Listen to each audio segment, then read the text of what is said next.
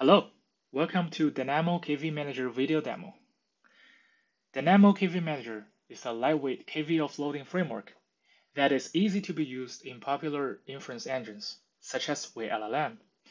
For example, when we meet heavy multi-client, multi-rounds conversation scenarios, our KV Manager solution will offload evicted KV caches to CPU host memory and SSD to avoid KV recomputations. So the first section is installation. As we can see here, we are already in the KV Manager dev container. The installation of Dynamo KV Manager is easy. You only need to pull the Dynamo adapted vLLM and the pip install. Other modules, such as the global KV list here, are already taken care of with the installation of Dynamo. All right, so let's get to the second section, uh, which describes how to enable Dynamo KV Manager. So basically, when you initialize Dynamo vLLM server, you just add a KV transfer config here, uh, the Dynamo cache connector, and the KV manager will be enabled. The rest of the config are the same. For example, uh, we enable the GPU prefix caching for fair comparisons, and we also disable the chunk prefill. The server initialization process can last up to several minutes, depending on how many CPU memory blocks you are allocating.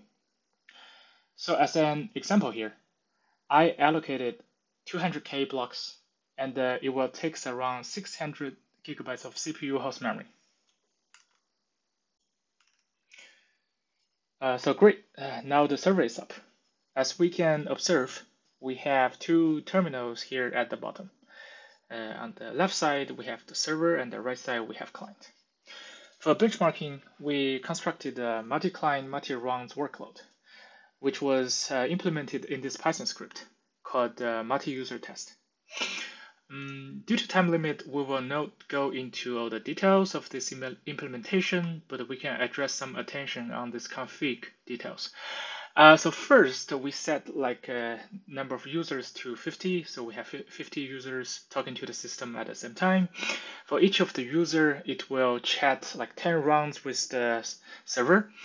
And we set the system prompt length to be 1K, uh, which means uh, each uh, round, each iteration, uh, the ISL will be added to a longer sequence. Uh, of course, each round, each client will send a new ISL uh, to the server, and the new ISL output, we set it to 128. All right, great. Let's start the client and see what we got. Okay, so we can see we having some new ISL here, and we can see a lot of logs here. Uh, some of them uh, belong to vLLM and some of them are uh, Dynamo KV Manager. So to save you some time, uh, we can see the metrics uh, clip here. Uh, we can see from vLLM, the GPU KV cache usage is almost like 100%. Um, so which means many KV cache will be affected.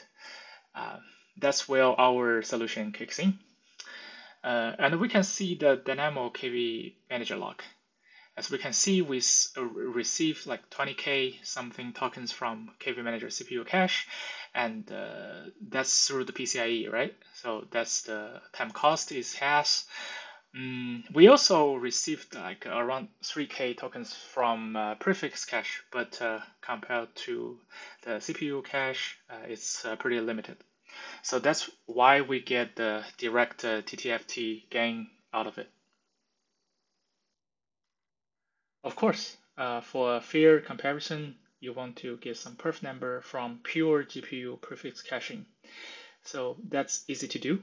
Uh, basically, you just delete this KV transfer config uh, from the engine initialization. Then you can run the same client on the right, and you will get the uh, TTFT and the throughput perf numbers.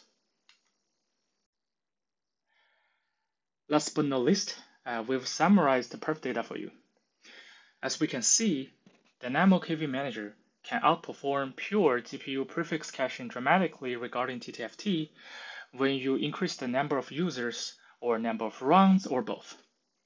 Besides, SSD offloading is already supported.